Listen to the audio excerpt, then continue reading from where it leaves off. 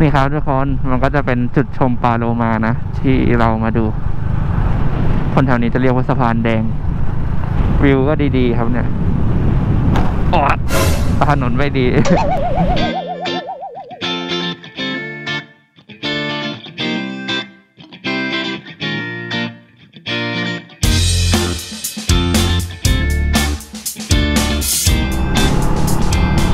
ดีครับท่านผู้ชมกระช่องทูไทยไบเวฟนะครับ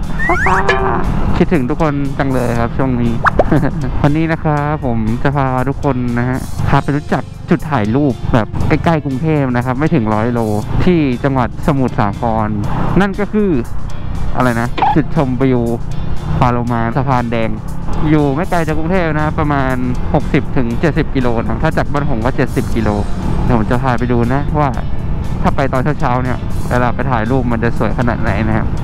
เดี๋ยวมาจากทริปเรานี้เราจะใช้ค่าน้ำมันเท่าไหร่ หลังจากที่เราไปอะไรนะปากช่องนะ ไปกับใช้ค่าน้ำมันไปแค่ร้อยเดียวสามร้อยโลวันนั้นอะไปไปไปเดี๋ยวไปเติมน้ำมันก่อนดีกว่า วันนี้สายซ้อนเราก็มาด้วยนะครับจะดูด้วยว่าจะหลับตอนไหนนะเติมน้ำมันแล้วจะได้วิ่งยาวๆเลย ไปทีเดียวให้ถึงนู่นเลย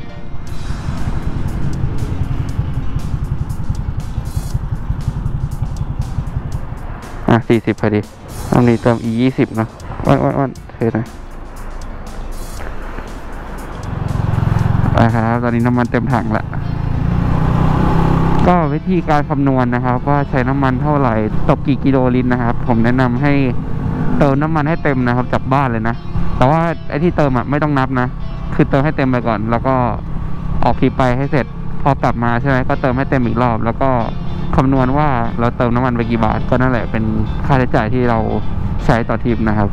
ส่วนอัตราค่าเฉลี่ยอย่างเงี้ยก็ดูว่าต่อถังอะเราเติมเท่าไหร่ อย่างเช่นอะเราเติมตรงเนี้ยจากบ้านอะถังแรกใช่ไหมคืออันนี้ไม่เกี่ยว ไปเติมระหว่างทางอะอาจจะลิตรหนึ่งแล้วกลับมาถึงบ้านอีกลิตรหนึ่งนี้ก็ใช้ไปสองลิตรอะไรเงี้ยแล้วก็เอาระยะทางที่เราวิ่งจากหน้าไม้มาหันจำนวนลิตรที่เราเติมไปก็จะได้ค่าเฉลี่ยคือเป็นกิโลเมตรต่อลิตรนะครับ เดี๋ยวเราเดินทางกันยาวๆเลยนะครับ เดี๋ยวเราวิ่งไปเส้นอะไรนะ ราชพฤกษ์แล้วก็เข้ากันละประพฤกษ์จากนั้นก็ลงกาญจนาแล้วก็ถึงละ มันใกล้มาก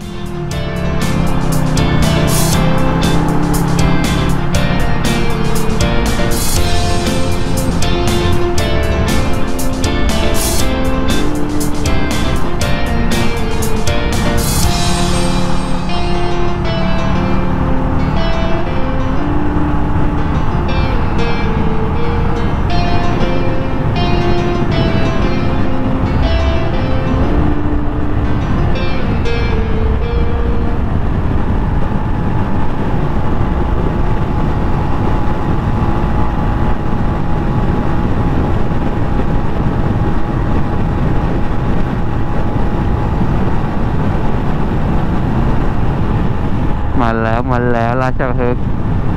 แล้วก็วิ่งยาวๆเลยจ้าราชพฤกษ์วิ่งจนสุดสายนู่นอะ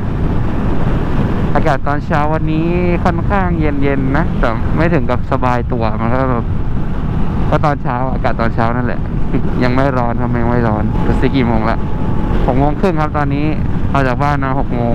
น่าใช้เวลาเดินทางมาชั่วโมงครึ่งนะครับ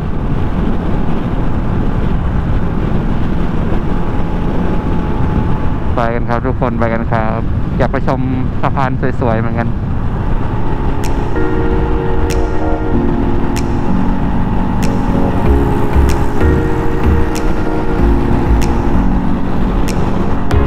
ลุงซิ่งลุงซิ่ง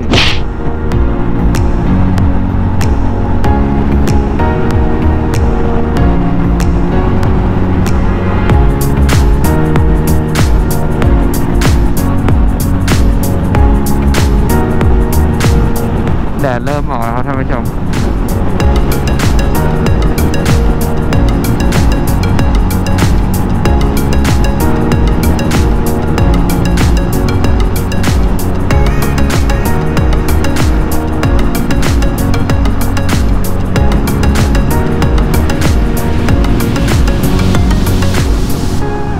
ตอนนี้เราก็อยู่บนถนนกลาพึกษ์นะครับ ตัดเข้าถนนกาญจนาพิเศษก เอ้ย เหลืออีกสามสิบกิโลถึงแล้วอะ ใกล้มากเลย อ่าคำนึงนะเราให้ไปทางไหนต่อวะเนี่ยเอางี้เดี๋ยวเราแวะปั๊มก่อนนะกันอยากกินน้ำหวานอยากกินพวกกับอะไรนะไมโลเย็นอะไรแนะนำเลยไมโลเย็นจิฟฟี่ในปตทอร่อยมาก มันจะหวานหวานๆน่าจะมีอยู่ปั๊มหน้าปั๊มที่เรานัดเจอพวกยูทูบเบอร์กันนะตอนนั้นนะแต่อยากจะบอกว่า เวลาเว็บนั่งสองคนเนี้ยมันขยับได้น้อยนะครับ มันก็อาจจะปวดตัวนิดนึงก็แนะนำว่าให้พักบ่อยขึ้นนิดนึง เพราะว่าปกติคนเดียวผมลากเป็นร้อยกิโลได้ร้อยสามสิบร้อยสี่สิบโลเออได้อยู่ มันไม่ปวดเท่าไหร่ เพราะว่ามันได้ขยับขึ้นลงอะไรเงี้ย แต่ว่าพอนั่งสองคนเนี่ยมันจะขยับไม่ได้ก็อาศัยการจอดพักที่บ่อยขึ้นเอานิดนึงแล้วกันแต่ว่าพอมีเบาะเจลมาช่วย มันก็ลดอาการแบบปวดตูดด้วยนิดนึงนะเบาะเจลที่นั่งอยู่เนี่ยคนถามมากันเยอะแล้วครับซื้อที่ไหน ลาซาด้าครับพิมพ์ว่าเบาะเจลซิลิโคนนะครับ ขึ้นมาให้เลือกเยอะแยะเลยอะเจอละบอลซอจิฟฟี่นี่ นี่คือไมโลเย็นที่บอกนี่เห็นไหมมีตาด้วย คือแบบหวานมากอะตื่นด้วยกินด้วยแล้วจะไปเข้าห้องน้ำทริปนี้ท้องเสียอีกแล้วครับท่านผู้ชม หลายทริปแล้วนะครึ่งต่อครึ่งเลยมั้งบางทริปก็ไม่เป็น วันนี้ไปไหนสะพานแดง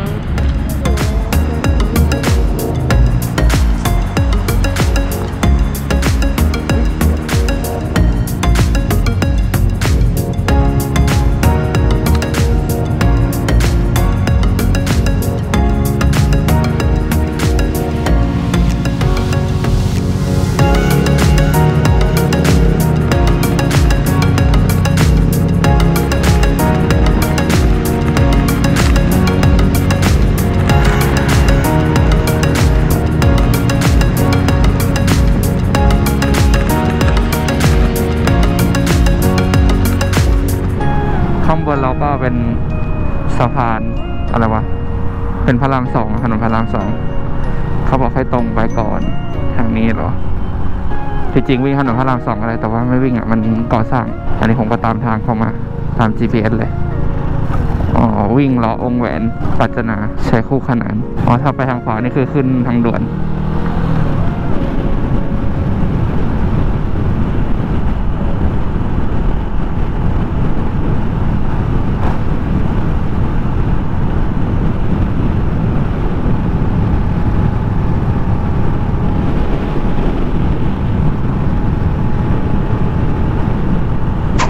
คือขับมาแถวเนี้ยรู้สึกแบบสดชื่นยังไงไม่รู้อะ มันมีทั้งน้ำมีทั้งแบบต้นโกงกลางทั้งป่าอะไรเงี้ยเออมันแบบรู้สึกสบายตัวเนี่ยดูดิวิวก็ดีๆครับเนี่ยอ๊ยถนนไม่ดี เนี่ยสวยมากเลย มันไม่ได้สวยดีมันมันแบบธรรมชาติดีลมลื่นอะไรเงี้ยเฮ้ยมีที่ขายอาหารทะเลด้วย โดนแน่ๆ เหมือนเส้นนี้คนเขาแบบมาขี่จักรยานเล่นกันเนอะเพราะมันดูสดชื่นเนาะคิดว่าจักรยานขี่กันเยอะมาก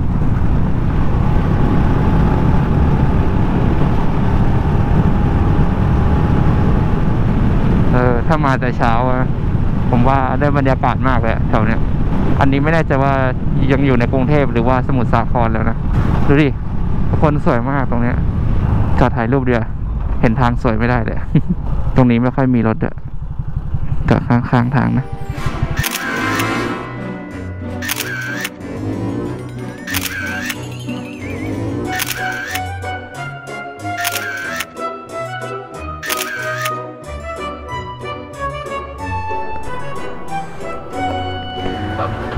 ไปครับเดินทางกันต่อ กี้จอดถ่ายรูปนะฮะ เรามาเลทตามแผนนะ ถึงแปดโมงพอดี เพราะว่าเราก็แวะเรื่อยๆเลยครับ ไม่ได้ขับกันเร็วเลยวันนี้อยากชิลครับ ถ้าสวยนะ ผมชอบบรรยากาศแถวนี้เดียวเหมือนภาคใต้เลยนะ มันออกเขียวๆนิดนึงนะเนี่ย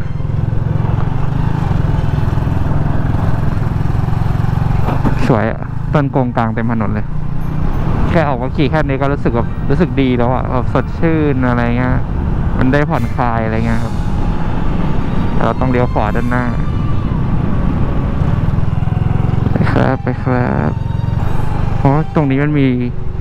เช่าเรือดูโลมาด้วยอะอยู่ใกล้มากเลยนะ ปกติเขาดูกันแบบภาคตรงภาคใต้อะไรเงี้ย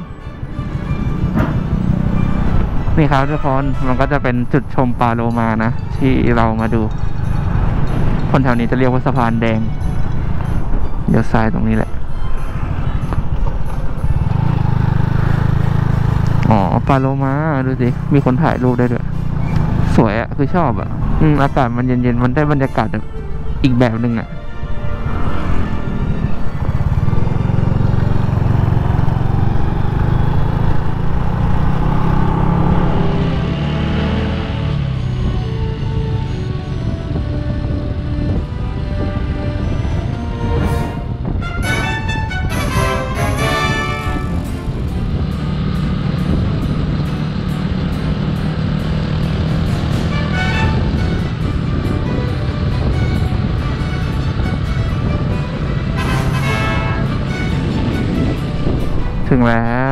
เลือยวข้าไฟเอง1.18 กิโล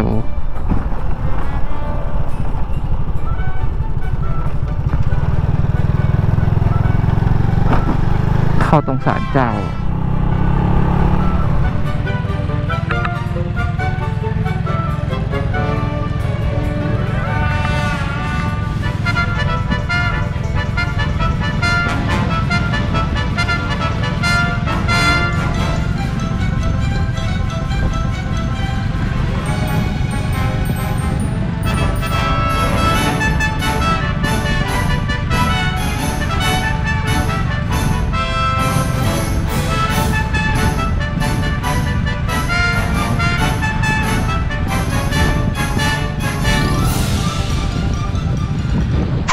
ถึงแล้วครับท่านผู้ชมเดี๋ยวผมจะพาไปถ่ายบรรยากาศกันนะครับ ว่าจะฟินขนาดไหนนะตอนนี้ก็ถึงเป้าหมาย เป็นที่เรียบร้อย ที่ไหน ที่สะพานแดง แดงแดงเดี๋ยวเราไปดูกันว่าสวยหรือเปล่าโหสะพานยาวมาก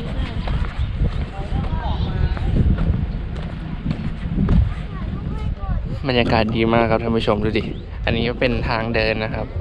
รู้สึกจะเป็นสะพานเก่า คือลมเย็นมาก ไม่ได้เย็นแบบขนาดนั้นนะ คือมันเย็นแบบเย็นชื้นๆอะไม่ร้อนนะครับ แต่ตอนนี้ประมาณ8ปดโมงและถ้า9ก้าโมงไปน่าจะร้อนนะ ก็ตรงนี้ก็เป็นจุดหนึ่งนะที่สามารถถ่ายรูปแบบแนวยาวไปได้ แต่วันนี้นางแบบไม่มา ไม่มีนางแบบ แม่บ้านง่วงเดี๋ยวเราเดินไปดูทางสะพานแดงกัน มันจะมีอีกที่หนึ่งนะครับ จะเป็นสะพานสีลุงนะ แต่ว่าวันนี้เรามีธุระอาจจะยังไม่ได้ไปสะพานสีลุง แต่ว่าสะพานสีลุงเนี่ยอาจจะไปรอบหน้า แต่เดี๋ยวดูก่อนว่าจะไปเมื่อไหร่นะครับ อยู่ใกล้ๆนี่แหละ ถัดไปไม่รู้กี่โล ไปเดี๋ยวเราเดินไปดูฝั่งนู้น ไม่รู้ว่าในกล้องทุกคนเห็นหรือว่าตรงนู้นอะ มันจะมี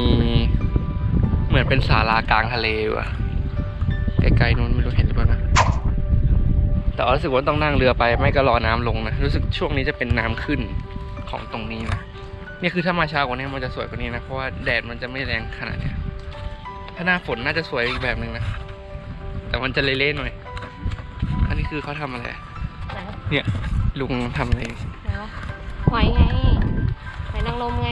อ๋อ นี่คือหอยนางรมเหรอะอันนี้คือที่เลี้ยงหอยนางรม ใช่ หอยมันจะมาเกาะเองแบบเรื่องธรรมชาติอะอ๋อ